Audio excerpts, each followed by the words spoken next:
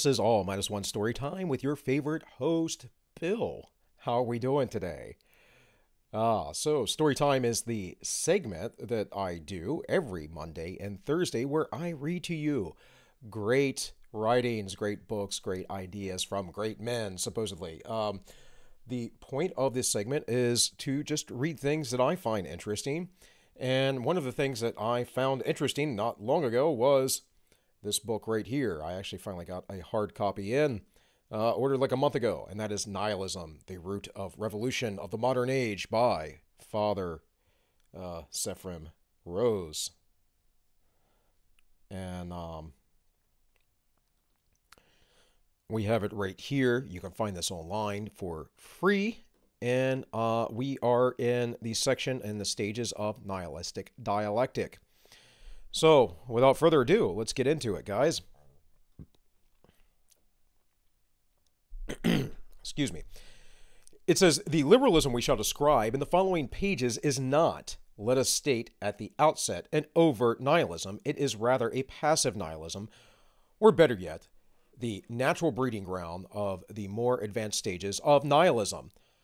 Those who have followed our earlier discussions concern uh, concerning the impossibility of spiritual or intellectual neutrality in this world will understand immediately why we have classified as nihilist a point of view which, while not directly responsible for any striking nihilist phenomenon, has been an indispensable prerequisite for their appearance. The incompetent defiance by liberalism of a heritage in which it has never fully believed has been one of the most potent causes of um, oven nihilism. The liberal humanist civilization, which in Western Europe was the last form of the old order that was effectively destroyed in the Great War and the revolutions of the second decade of the century, and which continues to exist through in an ever more attenuated democratic form, the free world today may be principally characterized by its attitude to truth. This is not an attitude of open hostility, nor even of deliberate unconcern, for its sincere apologists undeniably have a genuine regard for what they consider to be truth. Rather, it is an attitude in which truth, despite certain appearances, no longer occupied the center of attention, the truth in which it is professed to believe, apart of a course from scientific fact, is for it no spiritual or intellectual uh, Konoff current circulation, but idle and unfruitful capital left over from a previous age. The liberal still speaks, at least on formal occasion, of eternal uh, varieties of faith, of human dignity, of man's high calling, or his unquenchable spirit, even of Christian civilization. But it is quite clear that these words no longer mean what they once meant. No liberal takes them with entire uh, seriousness. They are, in fact, metaphors, ornaments of language that are meant to evoke an emotional, not an intellectual response, a response largely conditioned by long usage with uh, attention, or sorry, attendant memory of a time when such words actually had a positive and serious meaning. Excuse me, guys. I did not sleep well, and I think that ha- uh, that between that and the weather, I feel a little flimmy, a little uh, congested. So, uh, whatever. So please excuse me as I try to get through this. But in any case, what is he saying here? Well, to sum it up, liberalism came up in Western Europe. This, this really happened during the 1800s, the 19th century, right? And it, it, it primarily happened um, as an expression of the Renaissance. So by the 1800s, it was in full fruition of what I call, what many people call today, classical liberalism. Now, this uh, is a distinction that was, um, I believe, created by the Fabians, or at least according to uh, our friend Don the Pleb. But um, as as much as I am aware of the Fabians and their their crazy ideas and their uh, takeover of England back in the day. I wouldn't call them liberals or anyone who existed in that organization. A classical liberal is someone who believes in the centralized idea of uh, individuality, right? You, you are you own yourself. You are an individual. You are uh, a person who owns your own labor, your work.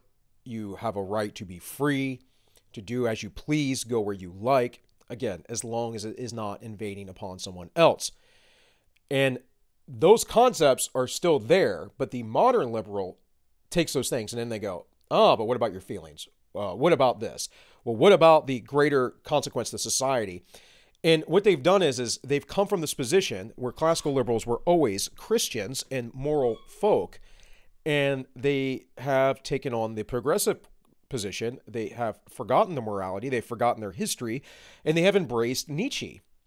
Uh, and Nietzsche, of course, is the basically grandfather or modern modern father of uh, nihilism. But Nietzsche's important because Nietzsche made predictions that came true. And so we had to understand that Nietzsche had some great insight, even in his own insanity, um, that eventually led to his death, by the way. Uh, in any case, what he's saying here is that the words that are used come from this old speak in this old language in this old time, but it, it's vestigial, it's useless, it's there, but it doesn't mean anything.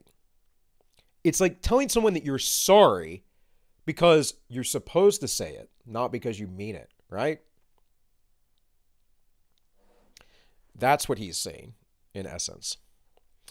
No one today who prides himself on uh, this uh, sophistication, that is to say, very few in academic institutions, in government and science and humanist intellectual circles, no one who wishes or professes to be abreast of the times does or can fully believe in absolute truth, or more particularly in Christian truth. Right, because with that coming up, that Enlightenment period that led to the classical liberal age, to the laissez faire age that brought more people out of poverty than, than any other period of history and had the boom of technology.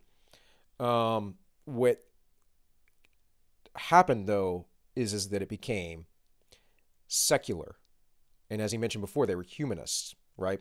Became secular, became worldly, of the world, and it got its mind off of God. And that's not where it started. That's not where it came from at all. You read any anyone who's considered a classical liberal, John Stuart Mills, John Locke, uh, Lord Montesquieu, Edmund Burke, all Christians. Uh, what the de Tocqueville, uh, Bastiat, one of my favorites, uh, all were Christian men. All believed in the truth of God, the creator of the universe, and Christ. Now, they might have been different denominations to some extent or, or uh, another, but they believed in the same universal truths. Yet the name of truth has been retained as have been the names of those truths men once regarded as absolute. And few in any position of authority or influence would hesitate to use them even when they are aware that their meanings have changed. Truth in a word has been uh, reinterpreted. The old forms have been emptied and given a new, quasi nihilist content. This may easily be seen by a brief examination of several of the principal areas in which the truth has been uh, reinterpreted. In the theological order, the first truth is, of course, God. Amen. Omnipotent, omnipresent creator of all, revealed to faith and in the experience of the faithful, and not contradicted by the reason of those who do not deny faith. God is the supreme end of all creation, and himself, unlike his creation, finds his end in himself. Everything created stands in relation to and dependence upon him, who alone depends upon nothing outside of himself. He has created the world that it might live in enjoyment of him and everything in the world is oriented toward this end, which, however, men may miss by the misuse of their freedom. And make no mistakes, folks, God created you in his image as a free being.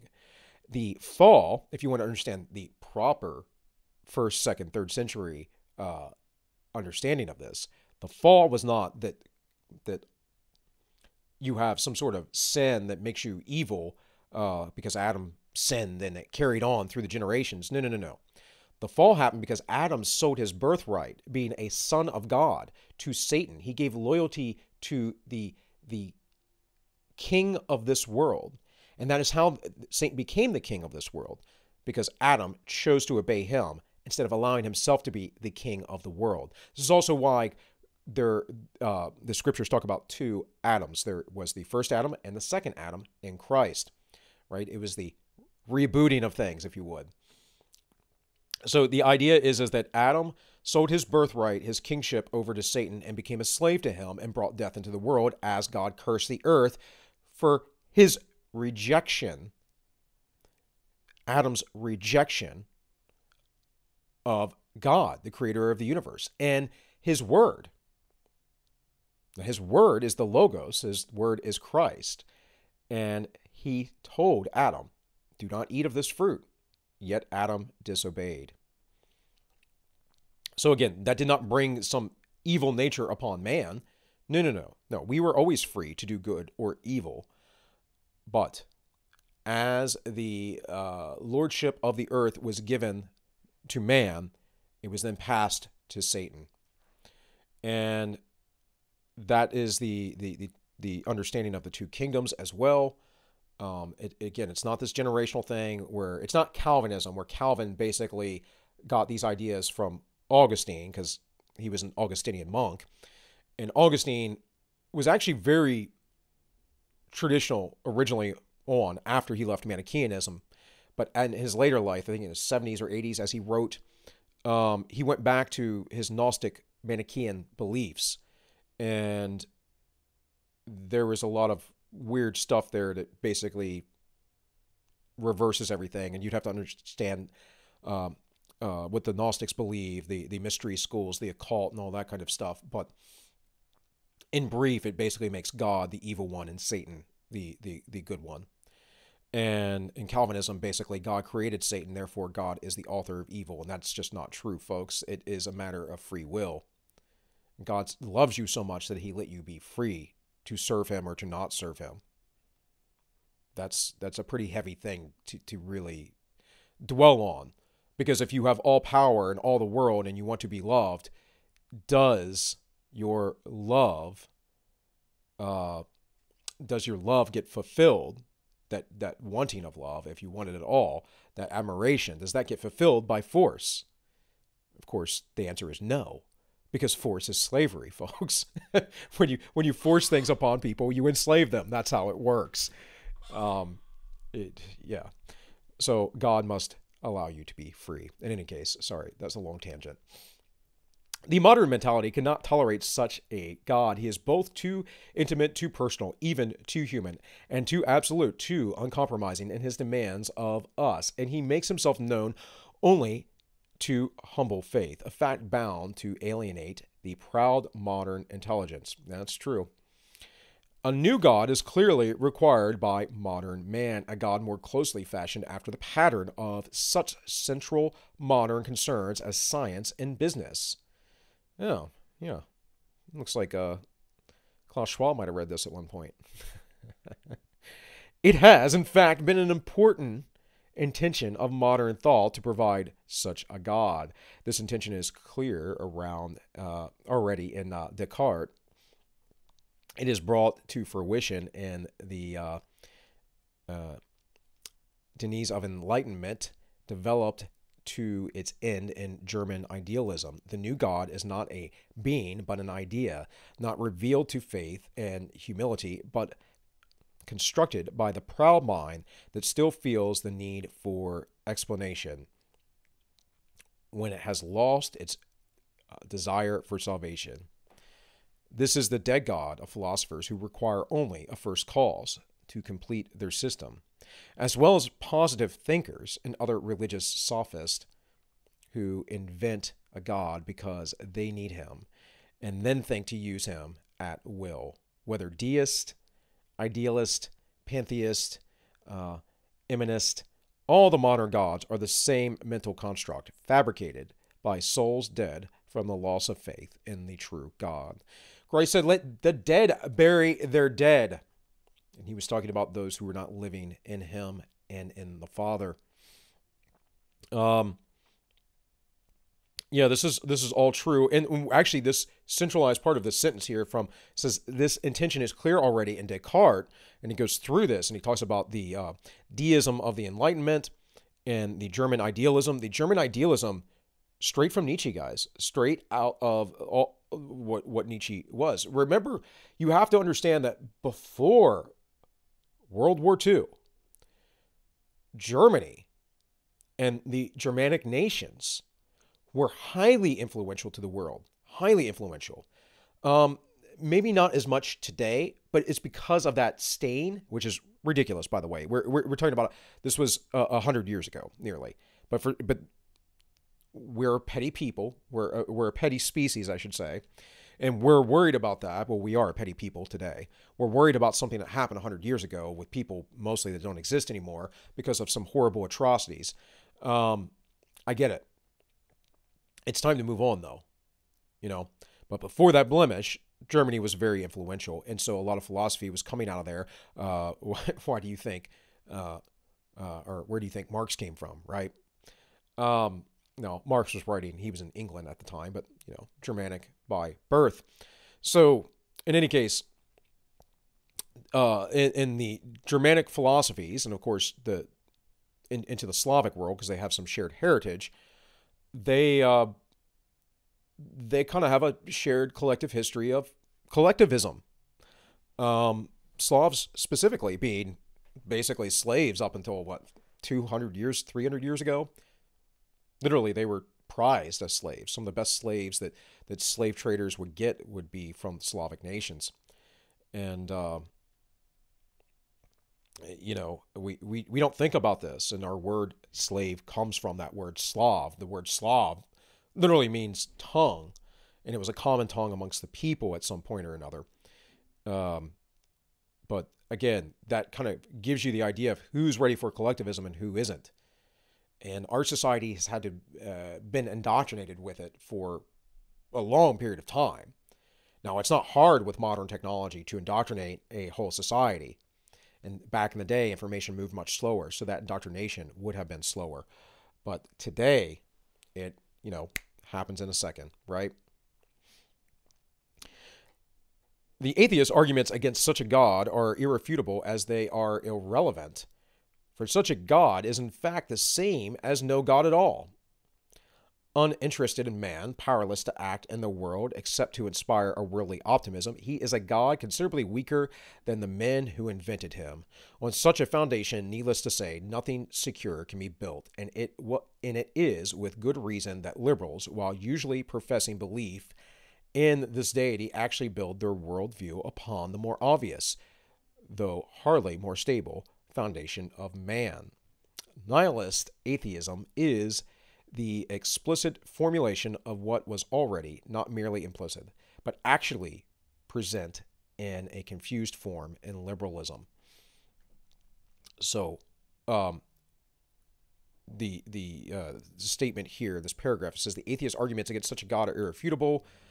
Um, that it says uh, uninterested in man, powerless to act in the world, yada yada yada. This is the same kind of God that Buddhism sees that if there was a God, that he wouldn't even care about you because you'd be like an ant to him. That's absurd because you build nothing, you make nothing that you don't have pride in. I like my food porn. My Instagram, uh, I have one for the channel, and that is in the description. But my Instagram, my personal Instagram, has a lot of food pictures in it because I like to cook. I'm proud of what I make. I make it uh, tasty and presentable. It's a form of artistic expression for me. No one who creates something and does a good job in it does not have pride in their creation. And the problem with Buddhism, the primarily pro- primary problem with Buddhism is that it cannot see that truth and thus misses the logos. It misses the purpose and the reason and the reality. It misses the plan. Buddhism is great as far as its rejection of material life, but um, and and also kind of being even keeled, you know, not not going to extremes. But there is no logos within it. And that's the same as what uh, Father Rose is talking here about liberalism. And again, he's talking about modern liberalism. He's writing this in the 1960s, um, not as I uh, uh, put out there uh, the ideas of classical liberalism. Um, and I eventually will probably come up with a better term, I would say. I could talk like our friends over at the Weekly Narrative and say I'm an alt centrist or something of the sort, right?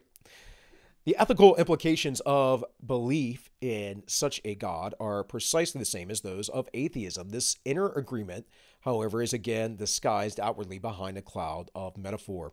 In the Christian order, all activity in this life is viewed and judged in the light of the life of the future world, the life beyond death, which will have no end.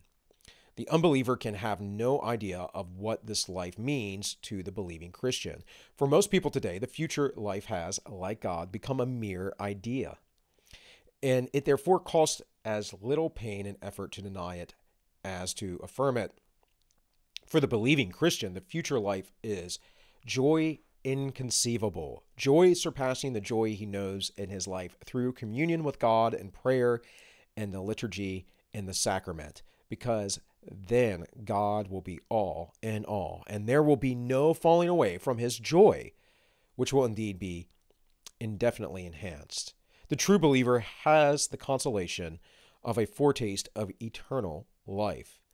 The believer in the modern God, having no such foretaste, and hence no notion of Christian joy, cannot believe in the future life in the same way. Indeed, if he were honest with himself, he would have to admit that he cannot believe in it at all.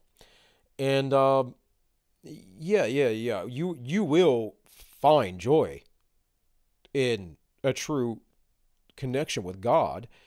And this is why people who don't have true belief, belief is something you act on, folks. It isn't something you say, right? The the old axiom, actions speak louder than words. It's because I can tell you all I want that I'm not punching you in the face while I'm punching you in the face. I'm still punching you in the face, even though I'm saying I'm not, right? Um, the doesn't matter what you say, guys. It matters what you do. Christ said it isn't what goes in to the vessel that makes one unclean. It's what comes out. And he said this to the the uh, Pharisees and the Sadducees who were complaining that his men weren't washing their hands or they didn't wash um, the inside of a bowl or something, the inside of a cup. And of course, he made a metaphorical statement about the being, the inner being. Now, the early Christians were very protective of what they took into their body. Christ also said that the eye is the lamp of uh, what is it? The, the lamp of the heart or something of, to that extent. I cannot recall. It's in the Sermon on the Mount, guys.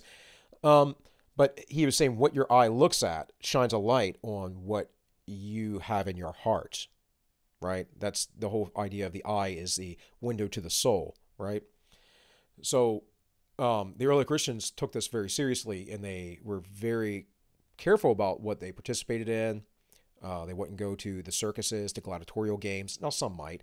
Uh, even in the day, back in their times, the theater, you know, um, drama, uh, fiction was just as hedonistic as it is today, just as uh, abrasive, just as Wicked. Uh, when I had a, a true conversion for a while, I got rid of all kinds of movies and stuff that I have. Now I kind of gotten over that. Maybe I would do better to to have remained on that path. I don't know, but all I'm saying is is that yes, we do live in the world, but we, we need to protect ourselves from what we take in. At the same time, it's what comes out that is most important. And you can only understand that in true faith. And people that don't have true faith never understand that. They don't get that connection. They don't get that pure joy. They don't see the moments when God acts in their lives. And I can tell you there are many that you become aware to just instantly. Weird things happen. Weird things happen. I'll put it that way. Um, and, and someone who has a, a shallow belief, who doesn't live their beliefs, they, they can never have this kind of connection because they they to in, in order for them to live their beliefs there has to be some sort of joy or passion to drive that it can't just be well, this is what I'm supposed to do, therefore I'm going to do it. Very few people are that disciplined. Very few.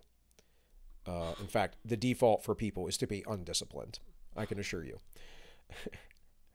it would not be called discipline otherwise. It would not be a hard thing to do. It would be easy. There are two primary forms of such disbelief which pass for liberal belief the Protestant and the humanist. The liberal Protestant view of the future life, shared regrettably by increasing numbers who profess to be Catholic or even Orthodox, is, like its view on everything else pertaining to the spiritual world, a minimal profession of faith that masks an actual faith in nothing. 100% easy believism. Going to church, going to that altar call, getting on your knees and saying, Jesus, come into my heart. Jesus, Lord, come into my heart. Well, I'm sorry, guys, if you don't live it, it doesn't mean anything. Go back to the parable of the sower and how the different seeds fell and where they fall. They fall on the wayside, on the rocky soil. They fall in the grass or they fall in the thorns, right? Where was the good soil? The grass, right? The good soil raised a believer up. The rest of the seed fell and scattered and either didn't plant itself, was swept up right away, or the person endured for a little bit and cared more for the world, as Christ said. And uh, yeah, yeah, and I would agree. Most, um, uh, I think Catholics, you have a problem because of your papacy and you are not following scripture. The church provides you salvation that is antithetical to Christianity. I think that the the the Calvinists have a problem with their you know circular logic on predestination and free will, which is a whole nother you know aside I can get into. Um, the charismatics believe too much in the emotional implications of the the spiritual experience with God, the relationship with God. There's absolutely an emotional component to it but there has to be a logical, rational one as well. You cannot just be in faith on an emotional uh, roller coaster, right? I would wager to say that's closer to what the evil one has a calling for. And he wants you to follow him based on your passions and that emotional high. I mean, I'm one. I know from my sins, from my past, that that's exactly what I would do with women. And you get that buzz, you get that high, and it goes away, and then you need that again. It's like a drug. You just need to keep doing it. So, guys, uh, keep that in mind, right? Uh, that this is a, a cancer now in our world now. And orthodoxy is seen as, uh, and I'm not an Orthodox Christian, folks, uh, but I do respect the Orthodox Church highly, and I use an Orthodox Bible, um, and I read their writings and, and things quite often because they've kept a pretty good lineage, and um, they they believe that they are the religion of the future, and they are trying to uh, proselytize to the world, and rightfully so because they do have the oldest lineage, although it may not be exactly as the early church worshipped. They they do see the uh, the predictions and the foreshadowing of Christ all throughout the Old Testament, which is what the Old Testament is about. It's about Christ, guys.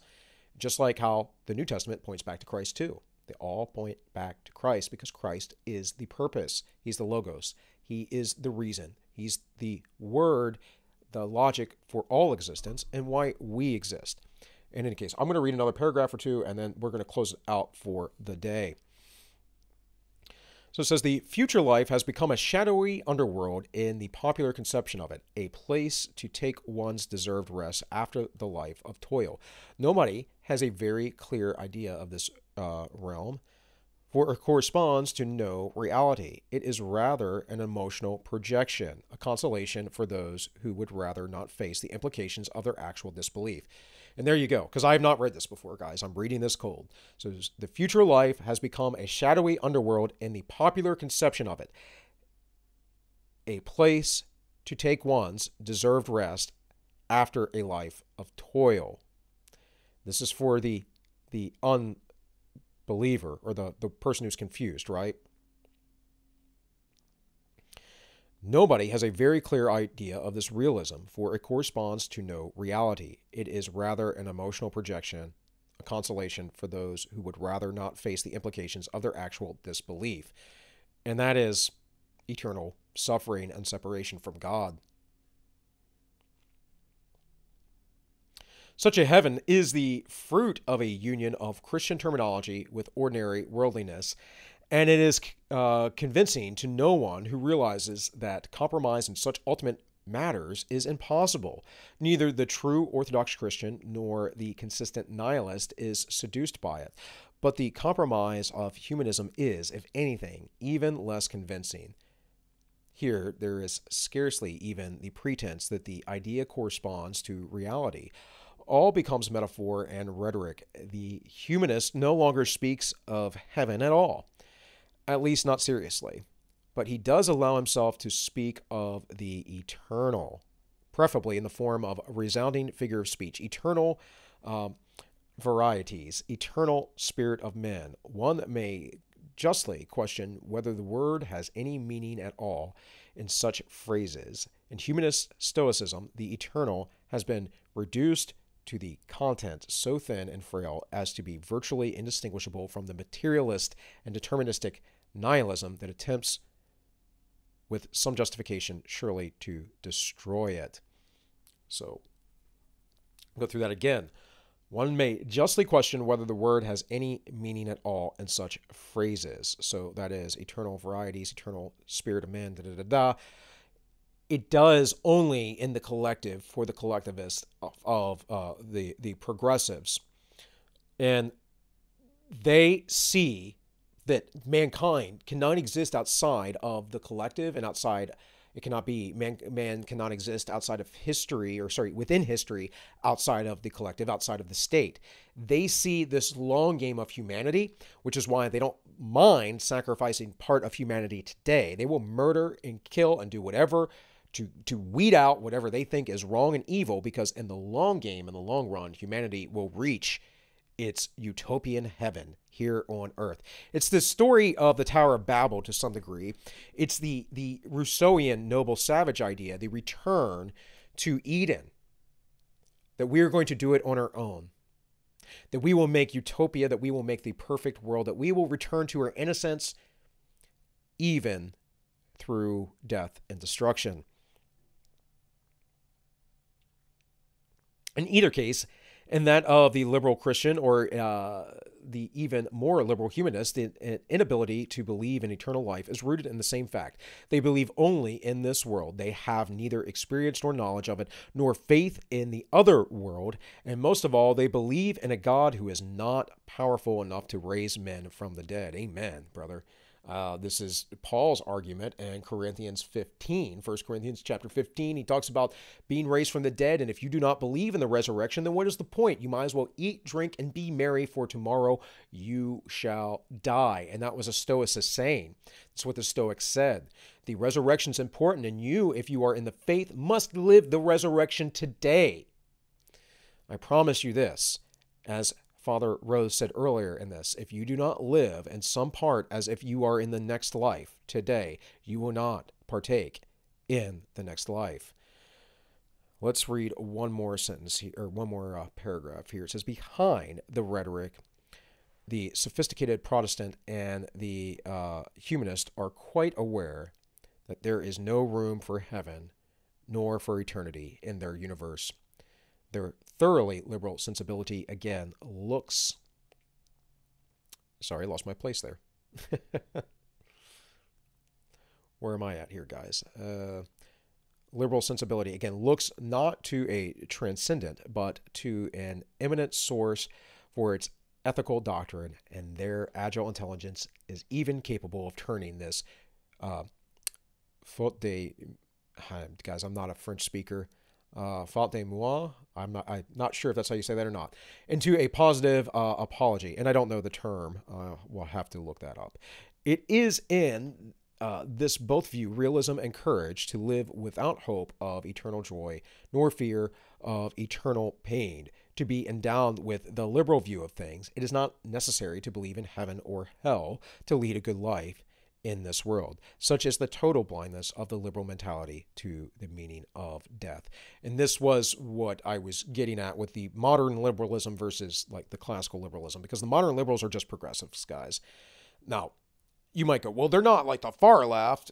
Well, no, probably not, but they are uh, part of the left. So um, I think that's a good place to start to stop this. Um, actually, let's read this last sentence or the last paragraph here, and then we'll we'll get to stopping it here. So if, there's no immortality, the liberal believes no one can can lead a uh, civilized life. If there is no immortality, is a far profounder logic of Ivan uh, Karamazov and uh, Dostoevsky's novel, uh, All Things Are Lawful. This is also the same thing that was said by Aleister Crowley he said that the law, the whole of the law, is do what thou willst. And that is the whole of the law. Do whatever pleases you. It's Humanistic hedonism. These people aren't liberals, they're libertines. They're different words, guys. A libertine is someone who's careless, free of responsibility, lives life without basically any care for anything. The story of Dorian Gray, uh, the portrait of Dorian Gray, uh, is all about a libertine, hedonistic life.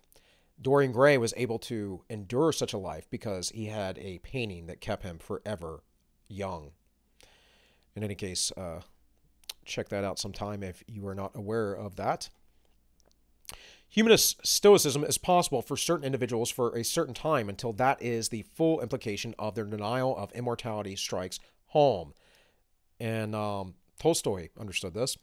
The liberal lives in a fool's paradise which must collapse before the truth of things. If death is, as the liberal and nihilistic both believe, the extinction of the individual, then this world and everything uh, in it love, goodness, uh, sanctity, everything are as nothing. Nothing man may do is of any ultimate consequence, and the full horror of life is hidden from man only by the strength of their will to deceive themselves and all things are lawful.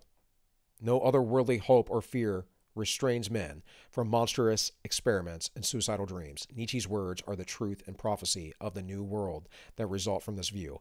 Of all that which was formerly held to be true, not one word is to be credited. Everything which was formerly disdained as unholy, forbidden, contemptible, and fatal, all these flowers now bloom in the most charming paths of truth. And yes, Yes, 100%. When you don't see that there is a greater purpose to life, life has no purpose, right? You have to have meaning and purpose in life. Now, there are people like, say, Sargon of Akkad, Carl Benjamin, who understands the need for a religion or depths of religion, who considers himself an atheist. Now, I'm sure he has meaning in his life. But again, what Father Rose is saying here, these people delude themselves or they just don't think about it. Because if you start to think about it, the reality is if you exist for a brief moment and you die, why does anything you do matter in the positive or negative? You might as well live that libertine, hedonistic life. You might as well go sleep with as many women as you want, get as drunk as you want, do as many drugs as you want. Might as well kill, murder, steal, do everything that you wish you could do. All right? Everything that is considered evil. Well, we know on a basic level that morality exists amongst other species as well that there is a hierarchy to things, that there is a natural order to how the world works. There are physics, laws of physics. I say there are laws of economics, although we try to violate those laws all the time. Um, you can't get around them, guys. They, they always come back to you. The world is set in a very precise order, and it tells me by the nature of things that there is a God. It informs me.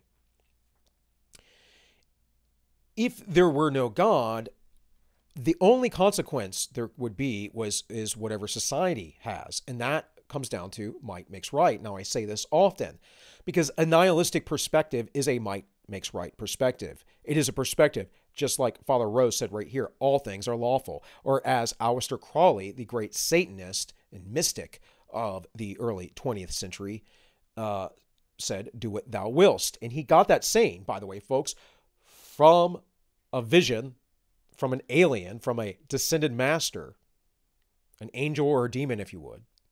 I mean, according to him, maybe he made it all up, right? Um, just understand this that there is a place that you have to go if you're going to believe in nothing and no real future and no creator. There's a place that you have to go and, and come to a realization that your life is meaningless. Maybe you don't have to go there. Maybe you won't go there. Maybe you're not strong enough. Maybe you refuse to acknowledge what is true. I don't know, guys. But with that, hey, I've gone 40 minutes today. So 40 minutes, pretty good time, pretty good amount of reading. We will pick back up there next Thursday. If I do not get a chance to record before then, one of these, I'm going to have to do it once a week or so, guys. Uh, I'll try and get some out here and there as time permits. Uh, my time is getting very limited with a wife that's due in about 12 weeks.